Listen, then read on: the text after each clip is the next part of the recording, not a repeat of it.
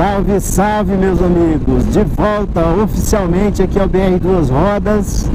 Após um ano sabático aí sem moto Quem está acompanhando o canal aí nas redes sociais sabe Que a última moto aqui do canal Foi a Yamaha Super Teneré, a 1200 e após aí alguns dois anos mais ou menos com a Super Teneré, um caso de amor muito, muito bom, não tenho do que falar da Super Teneré, é uma moto muito boa. Quem quiser saber mais detalhes do porquê que eu vendi a Super Teneré, tem um vídeo aí na descrição deste vídeo aqui, né? Que explica tudinho aí o que foi que aconteceu. E agora eu tô aqui assumindo um novo caso de amor. A Honda Africa Twin. A minha ruiva que já está apelidada. A ruiva do canal BR Duas Rodas. E para quem acompanha aí o canal a, pelas redes sociais sabe que eu fiquei aí quase um ano é, depois que eu vendi a Super Teneré, sem moto, mas eu não fiquei sem andar de moto. Na verdade eu tive a oportunidade de testar várias motos aí, de várias marcas, vários modelos, até mesmo não sendo do segmento trail, apesar de que o segmento trail é o meu segmento de origem, né? E de necessidade pela região que eu, que eu, que eu e pelos tipos de viagem que eu faço aqui, tem que ser uma moto trail. Então tive a oportunidade aí de andar novamente em várias motos que já tinha, até já conhecia, já tinha pilotado.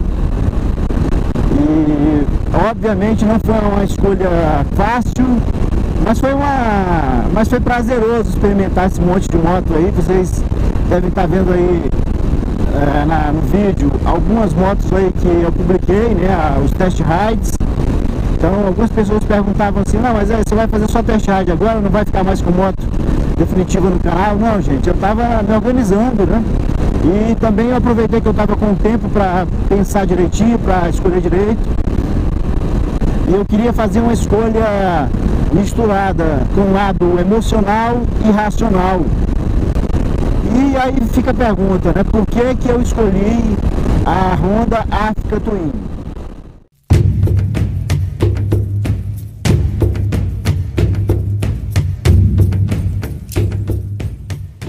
Uma das razões que me levou a escolher a Africa Twin também, obviamente, não poderia deixar de ser a aptidão que ela tem para esse tipo de estrada, ou seja, estrada de terra, estrada off-road. É aqui que ela se destaca em comparação com as outras Big 3 do mercado. Ela realmente aqui nesse, nesse ponto ela está um nível acima. Suspensão, ciclística, posição de pilotagem, a altura do guidão, tudo isso contribui para uma pilotagem excelente no off-road. E isso aqui foi um dos motivos realmente que me cativou.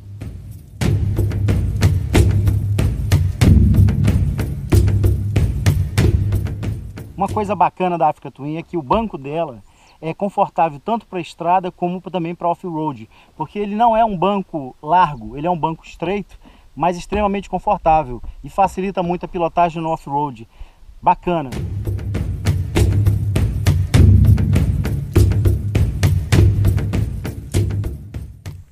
Com certeza, gente, um dos fatores que vai fazer você balançar pela Africa Twin é se você gosta desse tipo de estrada aqui. Um terrenozinho mais off-road, estradinha de terra. Aqui ela tem o seu ponto mais forte, na minha opinião. É uma moto que se destaca nisso aqui. O projeto dela foi feito para isso. A questão do banco mais esguio, a questão da pedaleira aqui, a altura da pedaleira, a altura do guidão. A moto ela realmente foi desenvolvida para esse tipo de estrada. Aqui ela se destaca bastante das outras Big 3 do mercado.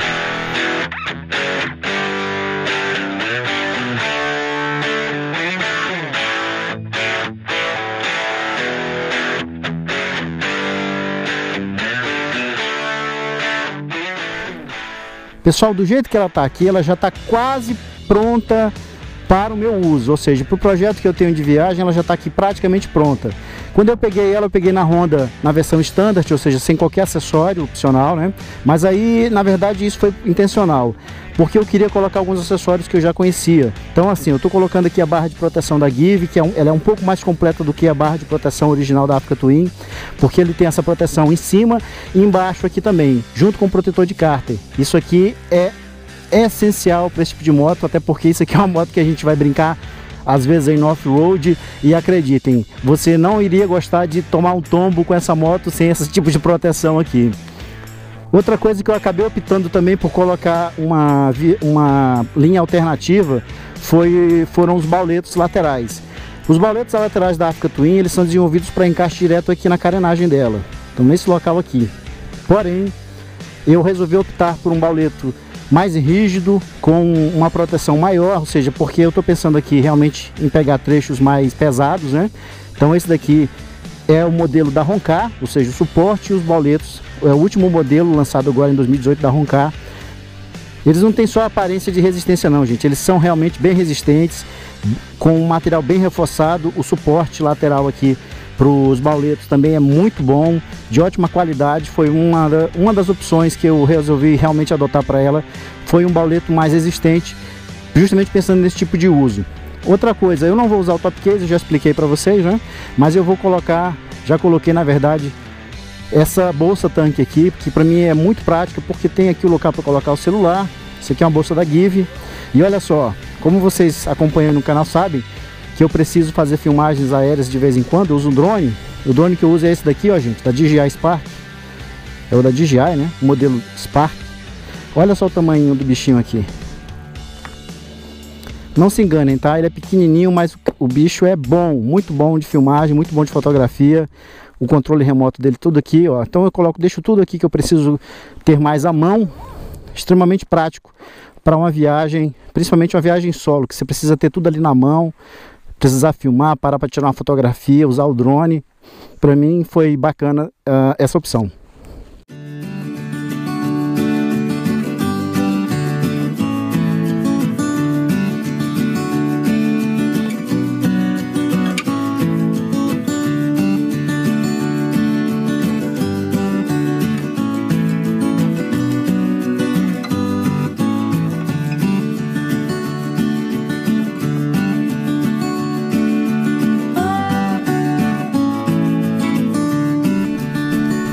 É óbvio, né, gente? Eu não podia pegar a Africa Twin, inaugurar a moto e não colocar ela num trechinho de estrada, né? De barro, um off-roadzinho. Então, olha lá, a gente tem que inaugurar ela no melhor nível possível. Então, vamos pegar um pouquinho de estrada aqui comigo, de, de chão, vem comigo. Aqui é onde eu falei, é onde essa moto se destaca.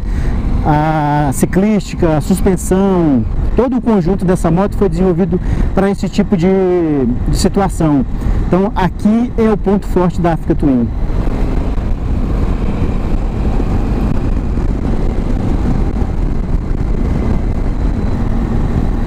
O pneu que vem de, é, de série, ou seja, o pneu que vem original de fábrica dela, não é um pneu ideal para esse tipo de uso. Infelizmente a Honda aqui do Brasil adotou um pneu muito on-road, né? É, esse pneu que eu estou colocando aí na, na tela é um pneu mais voltado para asfalto. O que eu acho que é meio contraditório para a proposta dessa moto. Então eu, te, eu digo logo o seguinte, que é garantido aqui que logo, logo, logo, ah, quando eu tiver necessidade de fazer troca de, de jogo de pneus, ou se eu for realmente pegar viagem antes da necessidade de troca desse jogo de pneus aqui, provavelmente eu vou é, colocar um jogo mais misto, para uso mais misto.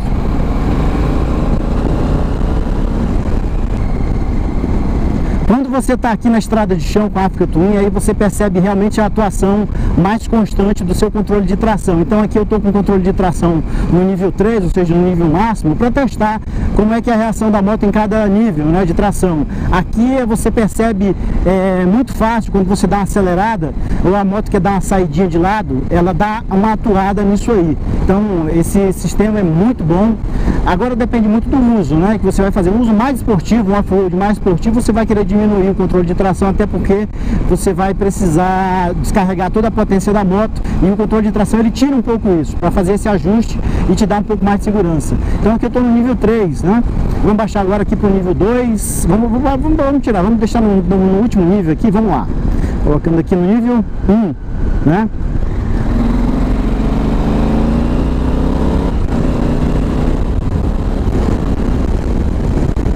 Que a gente percebe de cara é que ela continua ainda dando uma, entregando uma potência muito boa, mas ela, ela, ela já tira muito do controle de tração, ou seja, ela fica muito mais na sua mão e obviamente fica também mais arisca. Então a puxada que ela dá aqui você já sente a moto derrapar mais um pouquinho, então aí já é de gosto, né? Cada um da sua necessidade. Para mim, uh, o nível intermediário aqui me atende, está ótimo. Vou colocar aqui, ó, nível intermediário. Pronto, mudou um pouquinho aí, você já, já dá para perceber aqui uma mudança na, na resposta da moto.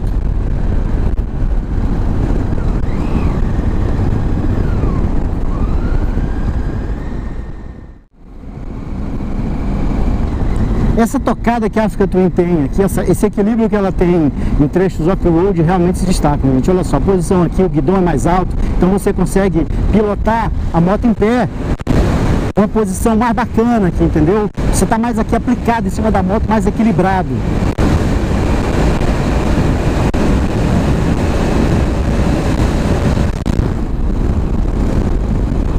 Tô a 100 por hora, tá gente? 100 por hora que parece que eu estou andando numa moto pequena, parece que eu estou andando numa XRE 300 aqui, o equilíbrio dela, a leveza dessa moto nesse tipo de terreno, tá? E a suspensão maravilhosa, gente. O equilíbrio aqui da suspensão da Africa Touring é coisa de louco. 110 por hora aqui, ó, estradinha de chão. Apesar de que esse pneu não é o pneu ideal para esse tipo de terreno, mas tá, tá dando conta do recado tranquilo. Moto extremamente equilibrada.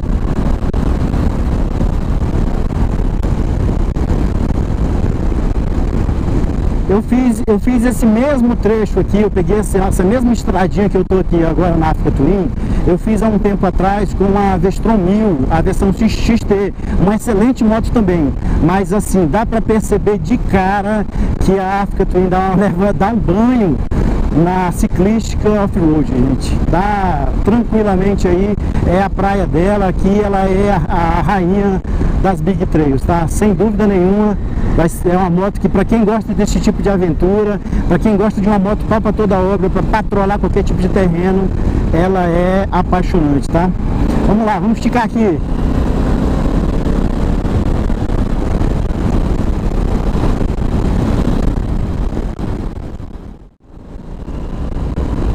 A brincadeira aqui tá muito boa, gente, né? Porque dá, é uma delícia pilotar essa moto aqui nesse terreno, nesse tipo de estrada. Mas aí a fome já bateu, agora já são quase uma da tarde.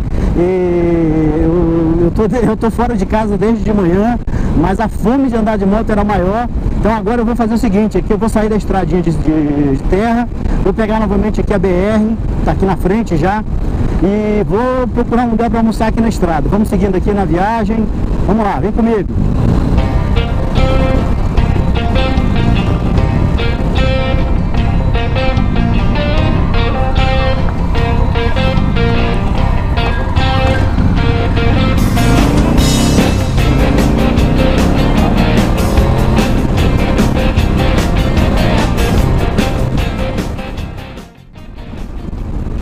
Isso, gente. Espero ter matado um pouquinho da curiosidade de vocês sobre essa moto da Honda, Honda Africa Twin, a nova companheira aqui do canal BR Duas Rodas. Espero, espero se Deus quiser, é, curtir várias aventuras aí, viagens com ela e também levando vocês aí junto com o pessoal que acompanha no canal aí no YouTube, na, no Facebook.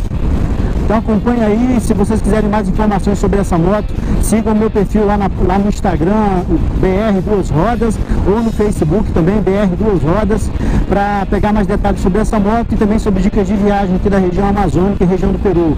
Obrigado aí vocês que acompanharam o vídeo, obrigado por, pelos compartilhamentos. Se você gostou do vídeo, dê um like aí, porque ajuda a divulgar o canal aí no YouTube. Até o próximo vídeo, gente. Valeu, fiquem todos com Deus.